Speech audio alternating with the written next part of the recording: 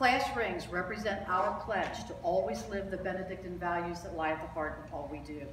May the rings inspire us to move steadily toward our personal and professional goals, to embrace our beliefs, to acknowledge the importance of each other, and to know that our dreams are always within our reach. May our class rings represent our commitment to be leaders and servants of God. We pray that you bless them abundantly and help them continue to grow as a community of students in our Benedictine school.